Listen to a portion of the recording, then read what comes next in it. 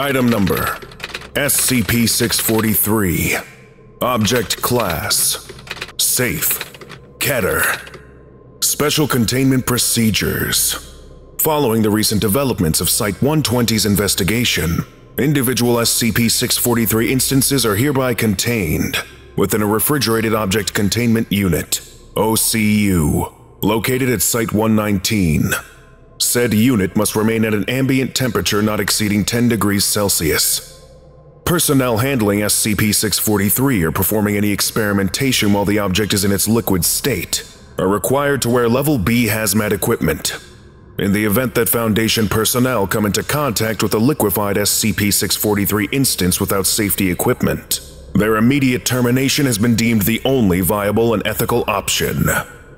Description SCP 643 is a collection of 79 unmarked chocolate candies with an abnormally low melting point.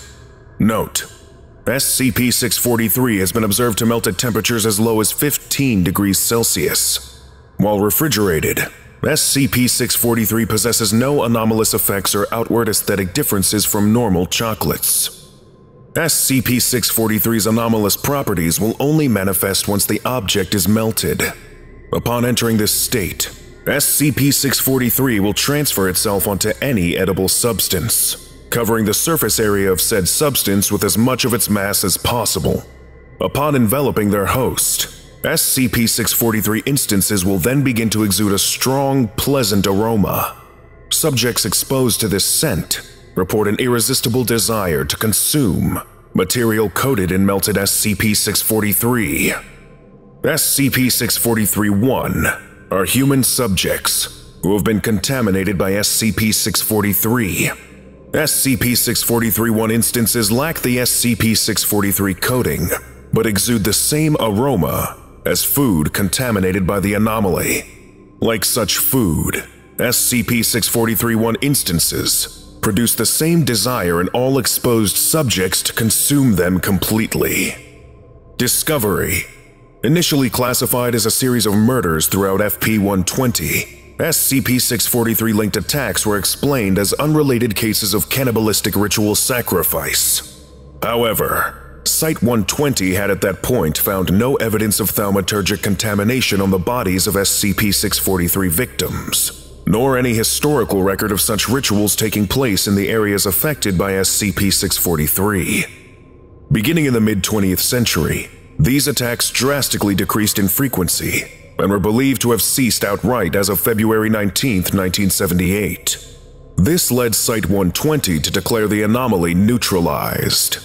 However, on 27 12 2001, a related homicide was perpetrated against Site 120 researcher Dr. Evil Breffen, a Fey thaumaturge, and a member of Site 120's research and interspecies communications teams. This event would later spark SCP 643's further investigation. Addendum 643 1 Investigation of Breffen's residence was approved following her termination headed by Site 120's Agent Marie Surratt and Site 119's Dr. Ryan Smith. The two were able to ascertain the location of a potential person of interest, following a letter that had been left inside of Dr. Breffen's mailbox. Of note was the contents of the letter itself, reading, Madame Valerie's Emporium for the Magical, calling Evil Breffin to pay her debt. Following further attempts at discerning information of Dr. Breffin's disappearance, the SCP-643 investigation gained insight into Madame Valerie's Emporium for the Magical. The following is a log of that exploration, led by Agent Surratt. Begin log. The feed reconnects as Dr. Ryan Smith and Agent Marie Surratt stand outside an old, though well-preserved shop, located in a wide alleyway in the sewer district. Despite the relatively unsanitary conditions of the location, it is cleaner than the rest of the district. Smith looks at the large glass front of the shop. Within it, he notices many crates, chests, barrels, shelves, and other containers appearing to mainly contain various food products. He shakes his head and looks at the large sign located above the door into the building. Smith, this is the place, right? Surratt looks through the glass front inside, looking for someone, apparently the shopkeeper. within. When after several seconds she doesn't find anyone, she turns back to Smith. Surratt. Yeah, sure is. The duo walk through the front door. A small bell rings as they enter. The room itself is jam packed with numerous shelves, bookshelves, barrels, crates, containers, wardrobes, and chests, decorated with an old red carpet on its floor. Above them, a chandelier filled with burning candles hangs from the low ceiling, illuminating the room with a dim aura. Surratt, don't touch anything. Smith nods. After a few steps, they come close to a wooden counter, atop which an old cash register and some papers sit. Surratt taps the bell near them a couple of times and starts looking at the shelves behind the counter as she starts tapping the wooden floor with her shoes nervously. Smith, you got something on your mind?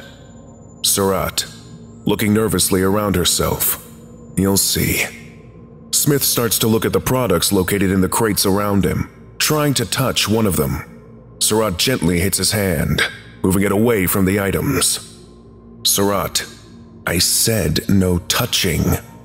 Smith, yeah, yeah, but look at this. It's all the same. All of these, they're shipments of food. Surratt, what? Smith, Surratt, this entire place looks like a Walmart, pointing at a shelf in the distance. See? Forks, plates, bread, canned food, water, juice, fruit, vegetables? Surratt, I. It's never been that way. I. This is just really weird. I don't. Unknown. I just thought a little renovation would do the place well. You know, different times, different needs. As the duo turned back to the counter, a tall, robed humanoid with a large hat can be seen standing near the counter. Its hands are covered with thick, dark gloves, and its face with the shadow of its clothing. Surratt slightly shivers, but walks towards the counter. Unknown. So, what do you need, Marie? Money? Fame? Status? Or perhaps you want to know your future? I can assure you, it's very intri- Surratt, I'm not really here to make deals with you today. The only thing I need is information.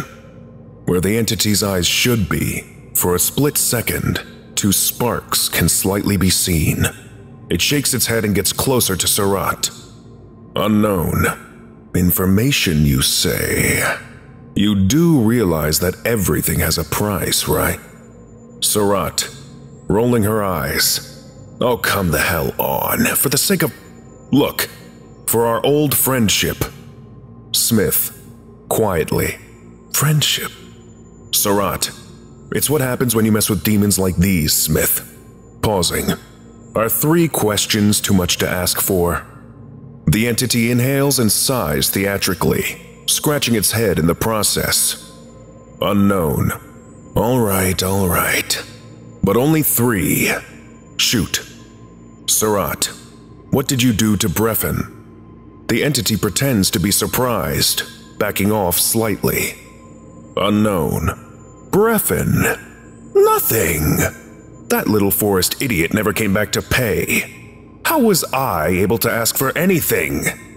Surratt puts the yellow message they found in Breffin's mail forward, holding it in two fingers. Surratt, I don't know. Maybe you were angry with her because she hadn't paid you. Unknown. I don't kill people, Marie. Surratt, please, just Surratt. Unknown.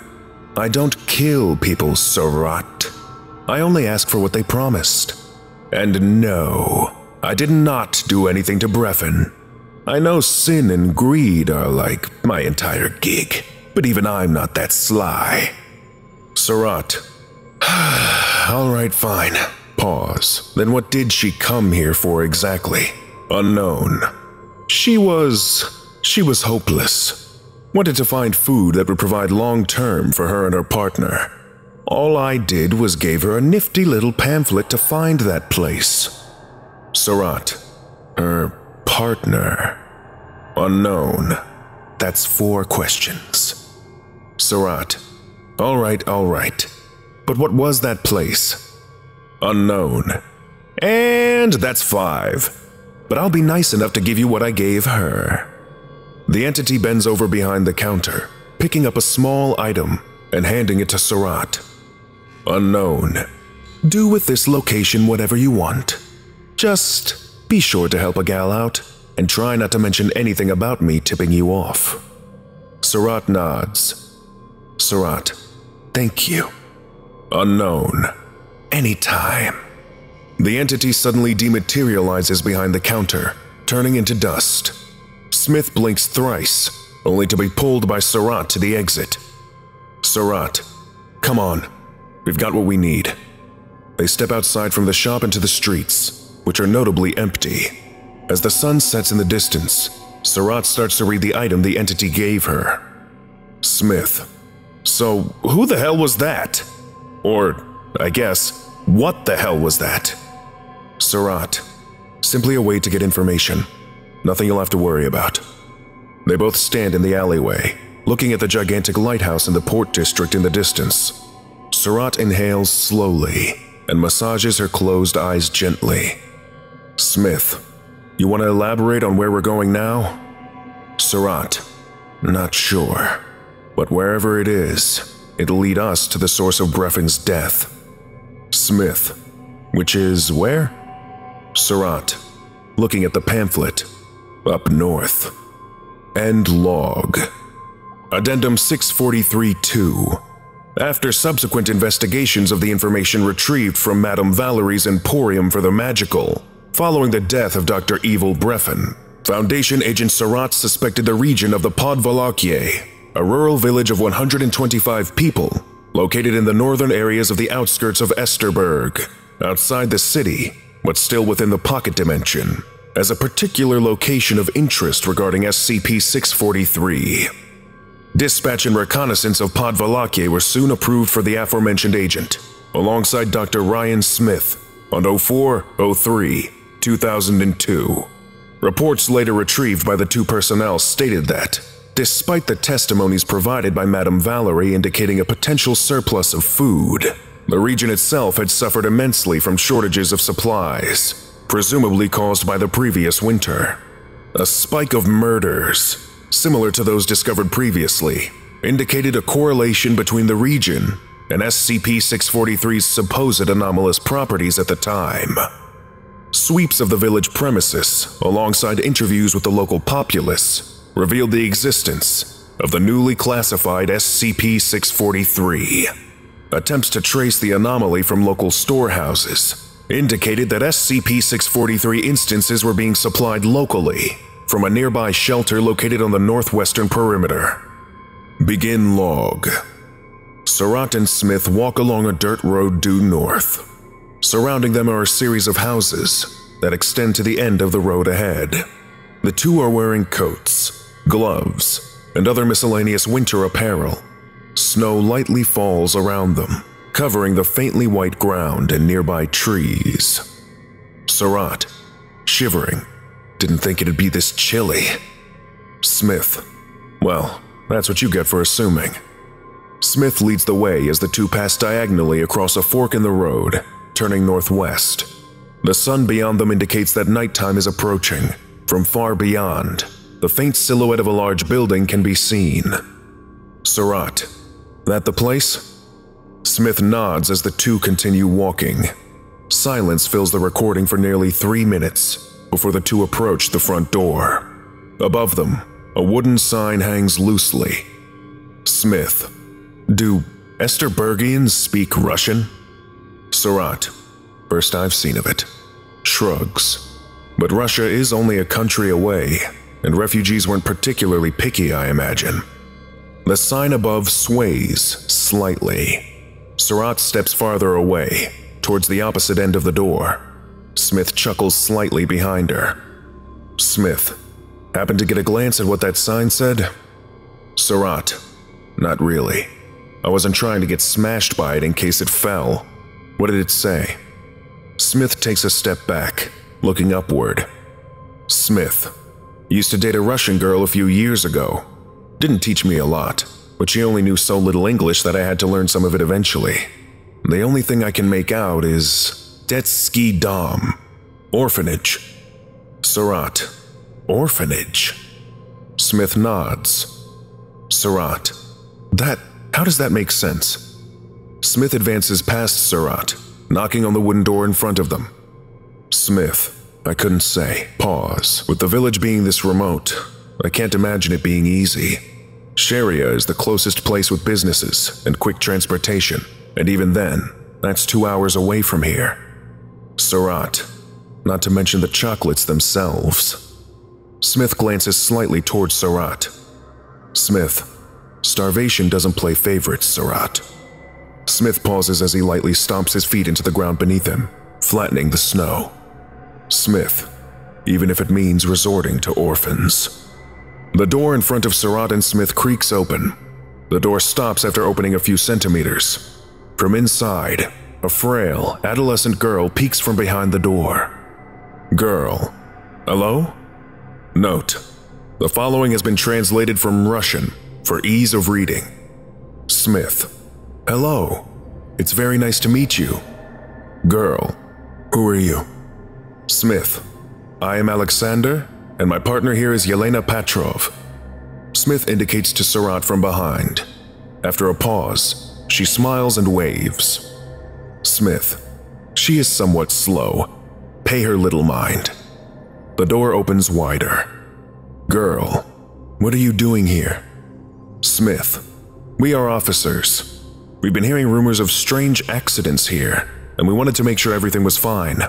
Have you seen anything strange recently? Girl. No, I have not.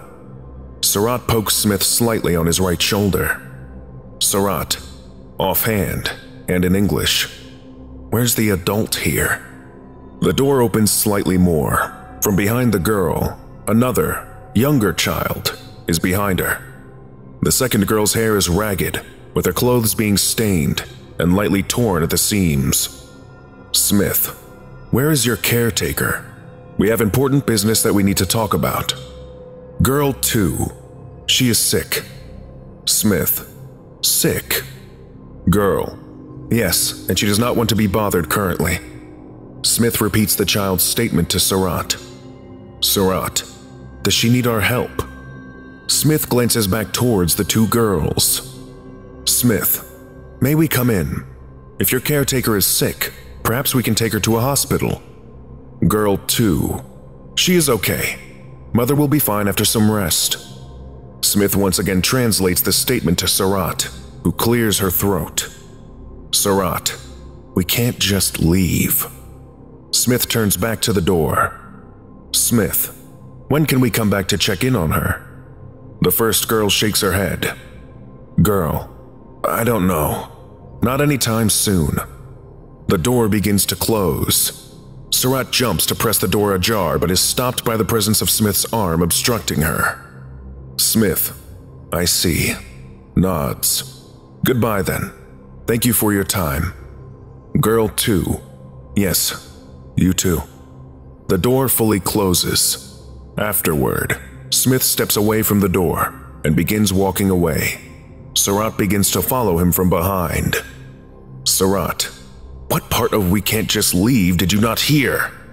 Smith pauses momentarily, slowing down his pace slightly. Smith, did you notice it? Surat, notice what? The only thing I saw was how quick they were to get rid of us. Smith, their eyes. Surat, oh.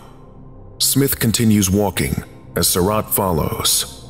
Surat, what about their eyes? Smith. They were dark, cold, and strangely dead. Smith sniffles. Smith. It's weird. I can't imagine that these places get many visitors, and yet, those two were able to stay completely calm, even when two random officers showed up at their doorstep.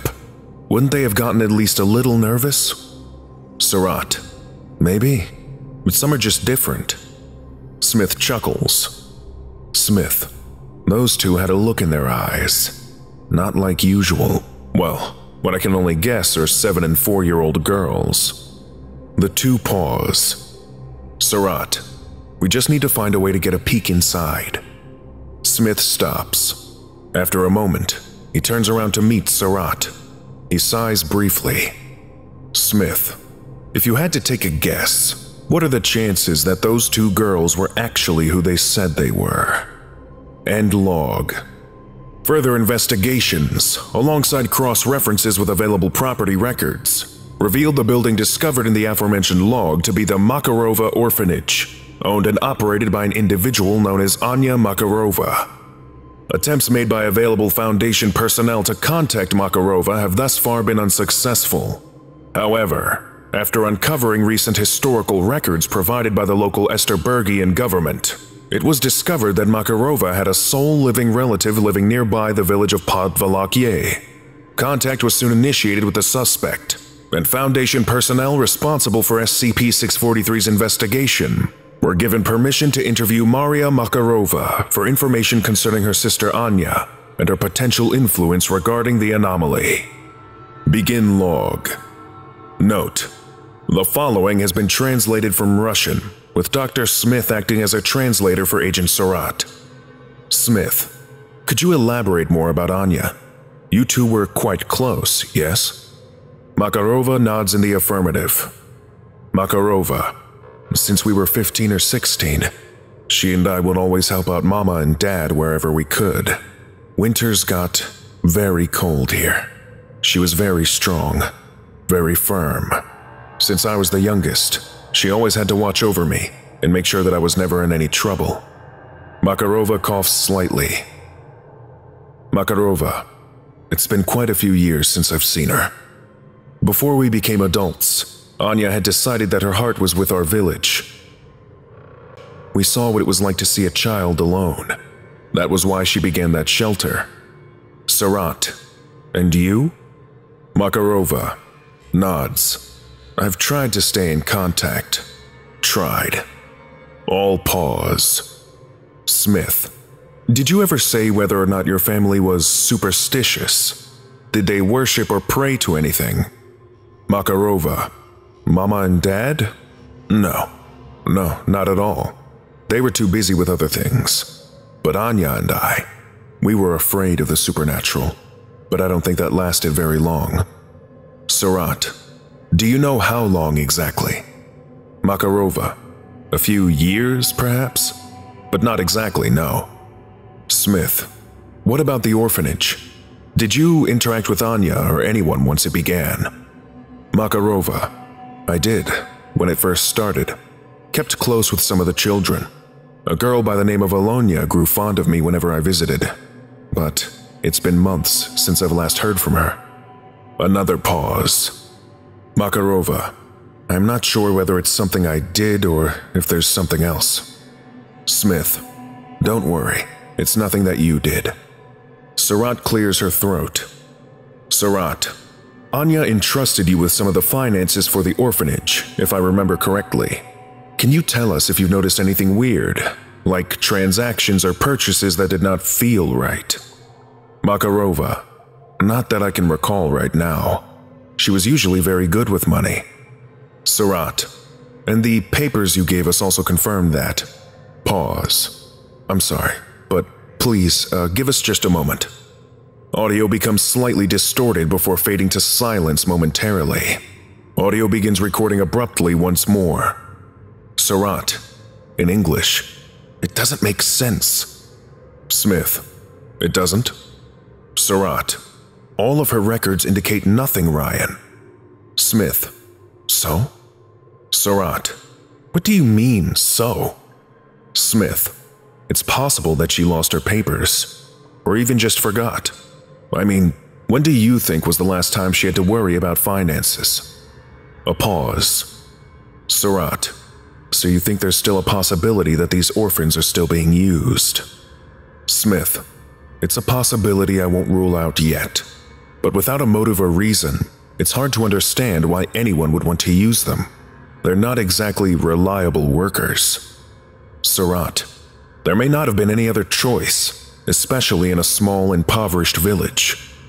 After several seconds of silence, the audio feed cuts briefly once more. Makarova, in Russian. Everything okay? Smith. Yes, yes. Just going over some things. Makarova. I see. Surratt. We appreciate your information. Thank you for your cooperation so far, Maria. Makarova. Of course. If it helps you. But there is also something else that I've been wanting to show. Audible silence. Makarova. I said earlier that a girl named Alyona grew fond of me. From the orphanage. She used to write letters to me whenever she could. Makarova sniffles slightly. Makarova. After a few weeks, her letters started to become less frequent. They became weird. At first, I didn't want to pay them any mind. Truthfully, I thought they were just the ramblings of a young mind. Surratt. I see. Makarova. But since you're here, you might as well know the truth. I kept them in a special box under my bed upstairs, sealed away. I can grab them for you before you go. Surratt. Of course. We will gladly take a look at those. Thank you again, Maria. End log. Addendum 643-3.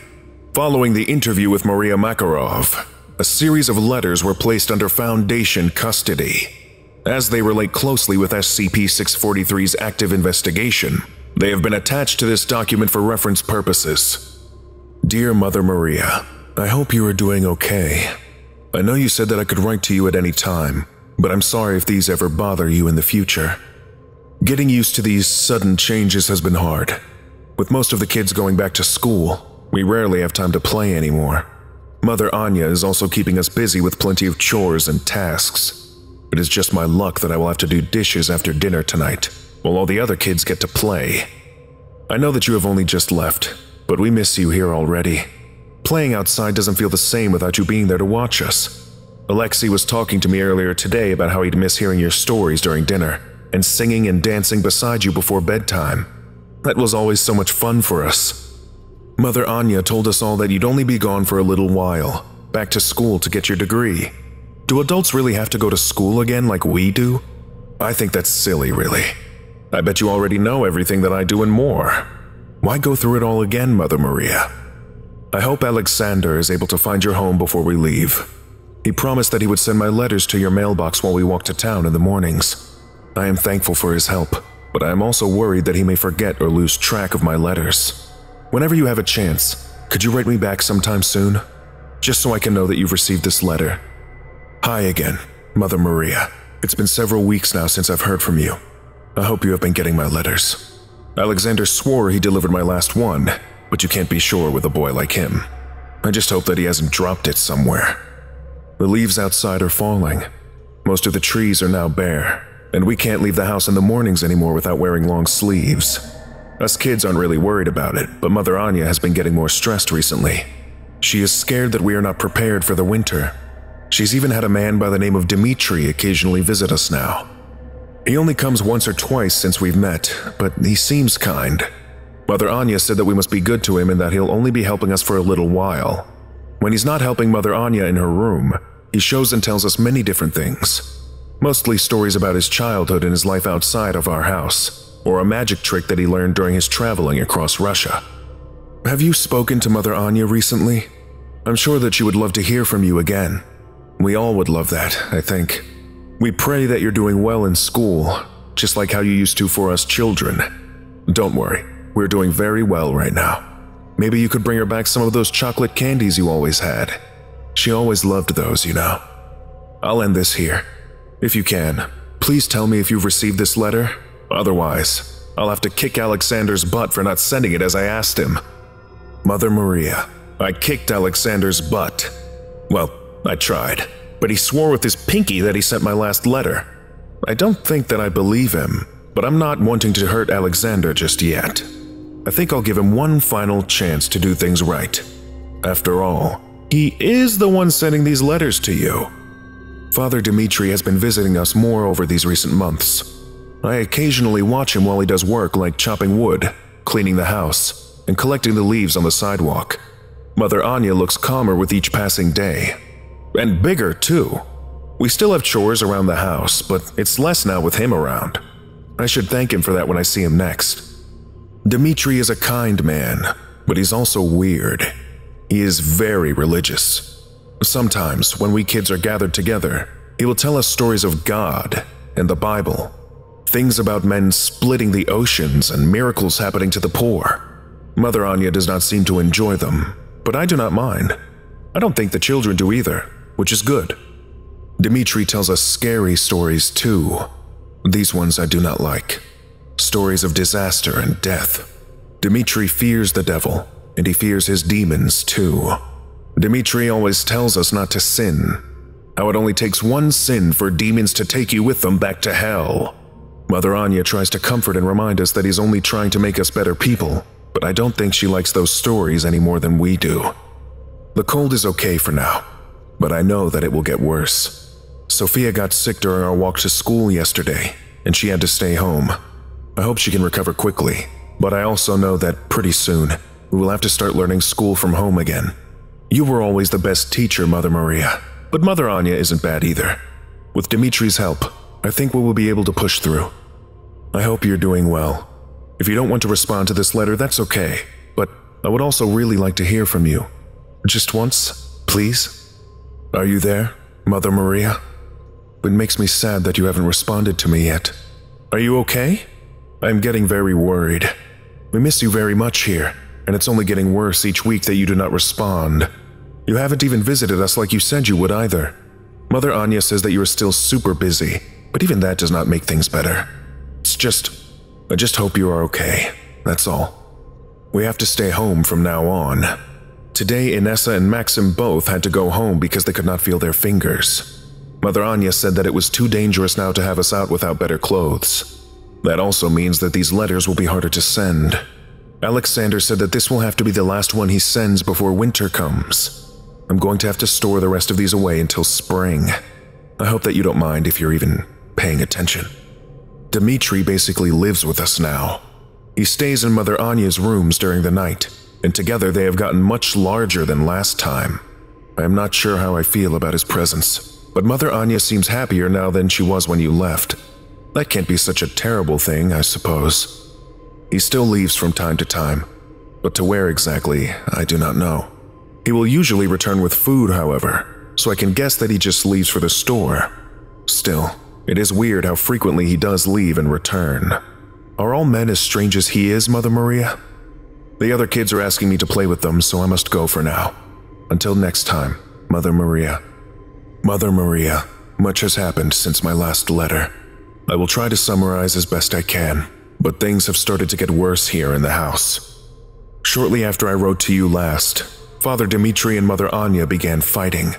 From what, I'm not sure, but they yell and scream at each other from within Mother Anya's room. It was okay though, since Father Dimitri and Mother Anya would always calm down and play with us children after they were done fighting. We were also told not to worry by Mother Anya herself, so we did not think about it much. That was until a week or two ago, when Mother Anya and Father Dimitri got into a really big fight. I even heard your name through the walls of the house, with Mother Anya screaming that you and Dimitri shouldn't have met each other. I tried to hear more of their conversation, but by then Mother Anya came outside and told us that Father Dimitri had left us. She didn't explain to us why, but she was very panicked and scared. She was sweating really bad, and I'm pretty sure there was a new cut or something on her face. We simply did not ask about it and left her alone since she was not happy. I don't think she has been happy since then, actually. Mother Anya started to become angry and mad at us a lot, now that I think about it. I wonder if she's just worried about everything that's happened.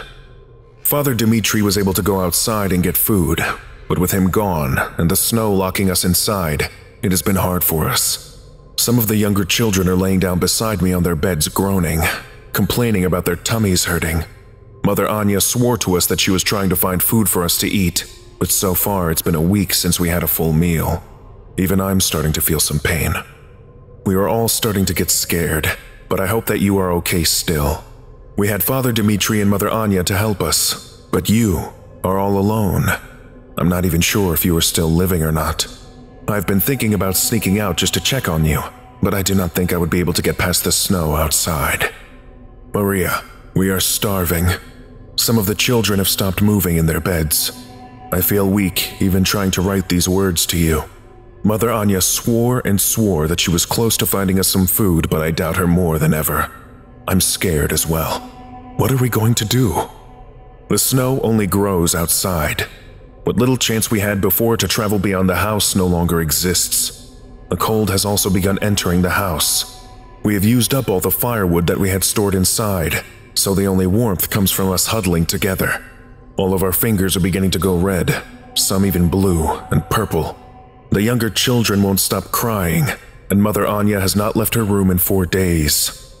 What are we supposed to do? Is there some way we can escape here and maybe find you? Mother Maria, we need your help. What would you have us do if you were with us right now?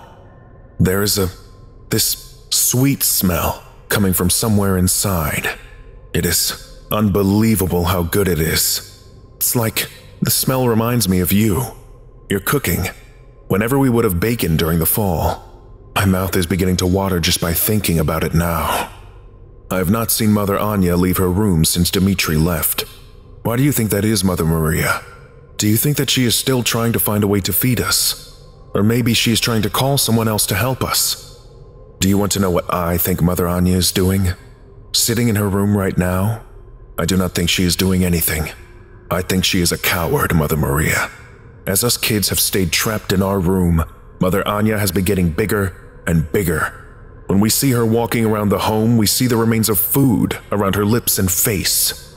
I think that Mother Anya stays in her room, feeding and hoarding our meals, all for herself.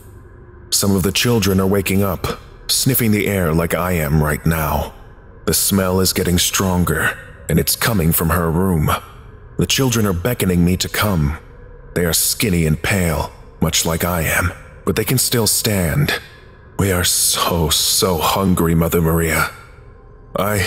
I will return to writing this here soon. Do not worry. We are no longer scared. After all, why should we be? Of course, I was angry at Mother Anya.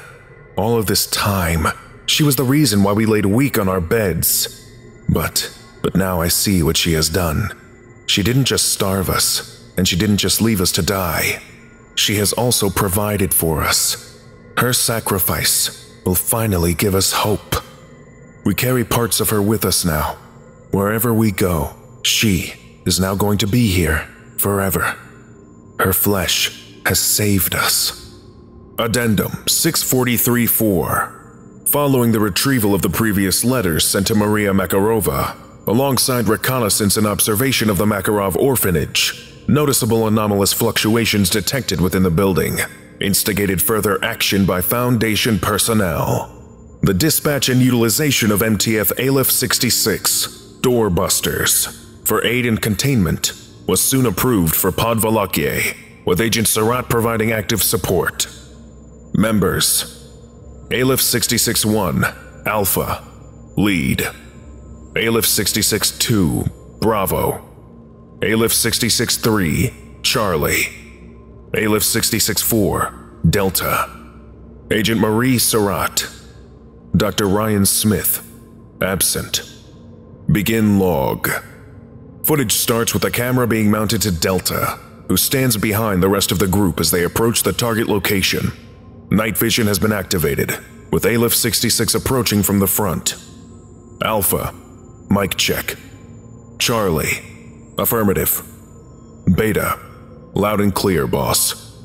Alpha takes the leading position as he raises his hand, signaling the group to halt. Alpha, Agent? Sarat, I'm here. Alpha, good. Glancing towards Charlie. Anything yet? Charlie nods, raising his equipment towards his face. Charlie. Uh, yeah. Huh. Alpha. What? Charlie. It's TRE. Lots of it, too. Note. In reference to Tartarin Resonance Energy, TRE, a form of radiation naturally produced by demonic entities. Notable example of entities possessing it is SCP-6072. Alpha. TRE. Are you sure? Charlie nods in the affirmative. Alpha. Agent, did you know anything about this demonic energy? Sarat. I. No? I'm. I'm just as surprised as you are, sir. Alpha. Can you stop it? Surratt. I mean, maybe? I have some training, but it depends on how strong it is. Alpha pauses briefly before referring to the group. Alpha, we got innocents in there. Stick to non lethals until I give the order. If push comes to shove, we fill whatever is in there with lead and hold it down until someone else can deal with it. Alpha signals the group forward. They have now arrived at the steps leading towards the front door. Alpha, take point, team. Beta, you'll breach. Make sure you're wearing your blockers. The group shuffles around the vicinity of the door, with Alpha and Charlie on the left, while Delta and Surratt take the opposite position. Delta holds his ear to the door and listens. After a pause, he shakes his head in the negative. Alpha, whispering, Do it, Delta. Delta twists the doorknob, slightly opening it ajar. After a brief pause, he quietly enters the interior. Alpha and Charlie follow closely behind, covering Delta from behind. Surratt and Delta follow from the rear inside. The group enters into a large living area. Towards the left sits a shredded and stained couch, which is toppled over on its back. In front of the couch sits a bare fireplace, with ash and soot spilling onto the floor. The room itself is barren and devoid of decoration or noticeable features. Alpha raises the signal to spread out and search. Charlie splits from the group and heads northwestern towards the dining room and kitchen area. Beta and Delta move towards the southeastern corner, into a nearby hallway lined with four separate rooms. Charlie, through radio and hushed, kitchen and dining clear. Delta, hallway clear. Alpha, affirmative. Surratt, after investigating around the couch and fireplace nearby, suddenly stops. Surratt, through the radio and hushed. Anyone else hear that noise? Aleph 66 freezes. After a moment, noise is confirmed, its source emanating from a far room within the hallway. Alpha, we secure everything first, team. Pause, heading towards the hallway now. Alpha and Surratt approach Delta and Beta as Charlie protects their rear. Once together, Aleph 66 breaches the first room on the right. It leads into a small white bathroom. The ceramic toilet is notably damaged, with the nearby shower curtain hanging loosely from the tub along the wall. It is also shredded. Aleph 66 retreats to the hallway and breaches the door on the opposite side. It leads into a large bedroom, with several bunk beds lining the walls. Beta and Alpha both enter, searching the room. Beyond the lack of sheets and the series of stains along the floor and beds, the room is featureless. Alpha, clear. The team returns again to the hallway, now approaching the third door. This time, Charlie breaches, revealing the inside of a storage closet. The storage closet is mostly empty, with the exception of a corpse sitting upright inside. Once the area is cleared, Delta retrieves the body and quietly moves it from the hallway and into the living area. After securing the body, Delta begins searching the remains. After a moment, he retrieves a wallet and opens it. Delta, Dimitri Lukin. Surratt breathes in slightly. Alpha glances towards her for a moment before looking back at Delta. Alpha, leave it here. We'll take it back later. Delta nods. Alpha signals the team to return towards the hallway, to the last door. Once Aleph 66 gathers, Alpha breaches, entering the room as the door swings open violently. Aleph 66 enters into the room, accessing a large master bedroom. Along the walls, a series of large crates are stacked haphazardly, decorated in miscellaneous labels. From the camera perspective, most of these crates are filled with a brownish substance, most likely separate instances of SCP-643. Along the floor, small children lay sporadically throughout, all of which appear to be incredibly malnourished, with most being covered in SCP-643 material. In the far end of the room lays a large bed containing a sprawling body and several more children.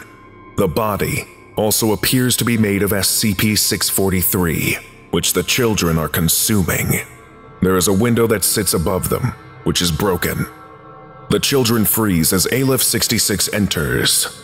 Charlie and Beta spread out to the far corners of the room, their weapons aimed towards the bed. Alpha, get away from that, or we will engage. Alpha's voice becomes inaudible as a shriek emanates from the bed. Suddenly, the sprawled body on the bed rises to a sitting position, knocking the two children onto the floor using its now outstretched limbs. The entity can be seen smiling widely, its cranium and lower jaw exposed to Aleph 66. Alpha, open fire! The entity assumes a standing position as Aleph 66 opens fire. It quickly latches onto a nearby wall with its appendages before climbing upwards towards the ceiling of the bedroom. Delta takes a step backward before the entity lunges towards Charlie, who dodges with a roll towards the doorway. The entity pounces closer towards the group as Aleph 66 continues firing. Alpha signals the group to retreat into the hallway. Surratt, Beta, and Delta retreat towards the living room as Alpha maintains cover fire for Charlie. The entity slows momentarily, allowing them both to exit the master bedroom. The entity, now littered with gunshot wounds throughout its body, begins crawling towards Aleph 66 from the door. It leaves a trail of SCP-643 material as it lurches forward. Alpha. Surratt, the exorcism, now! Surratt vocalizes an affirmation as she begins reciting cleansing testaments. The entity screams once more as she speaks, its body dissolving and boiling as she continues. Charlie. Hold it down until she finishes! The entity attempts to lunge once more, now aiming towards Alpha. The entity misses, dropping several meters in front of him. Alpha takes a step back and fires several more shots into the creature's torso. It gurgles and screams once more as Surratt completes the exorcism. After a moment, the entity goes completely still. Surratt. I'm done. I'm done. Are we in the clear yet? Aleph 66 does not initially respond, their guns still aimed at the entity laying on the floor in front of them. Alpha. Yeah, yeah, I think we're clear. End log. Closing statement. After securing the Makarova orphanage, MTF Aleph 66 was able to recover six injured casualties, all of whom were suffering from immense malnutrition. The body of Anya Makarova, whose composition had been altered to that of SCP 643 material, was also retrieved.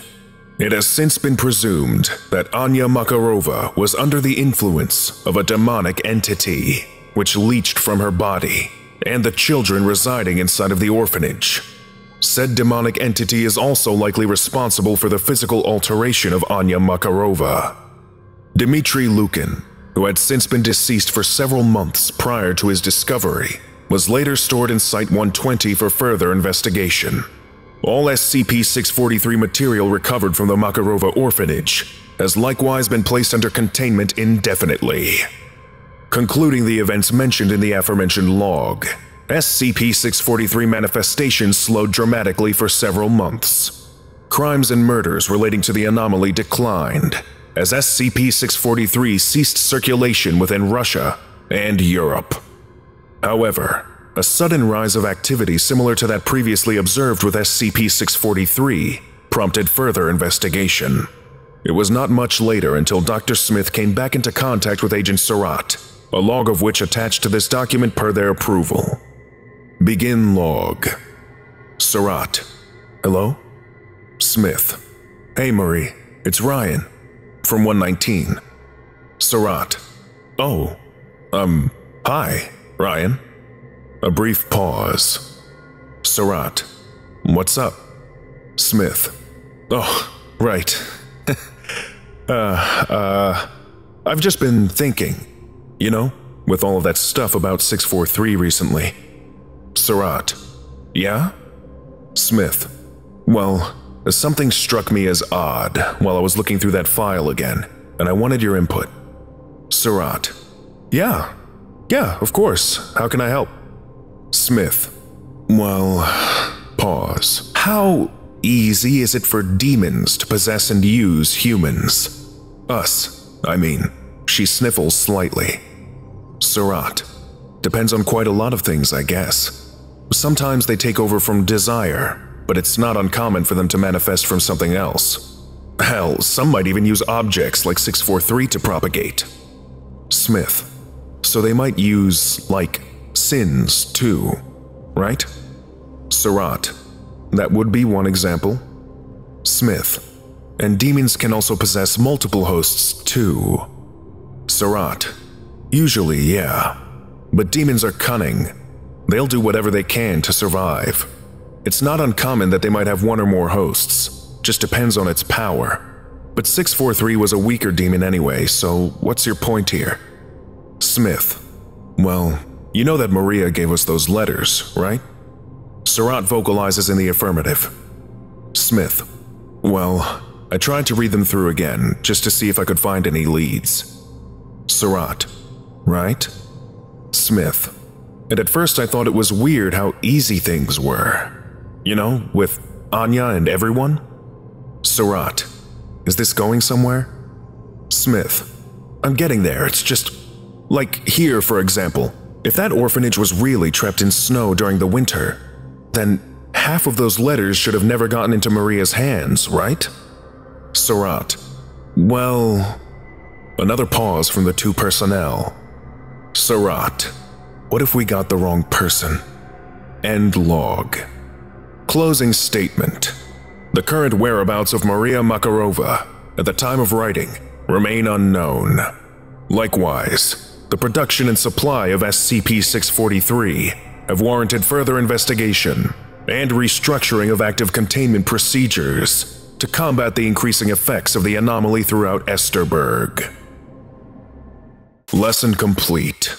If you missed the previous orientation, go watch SCP-642, Hot Springs, right now. Or for the complete course, watch this playlist.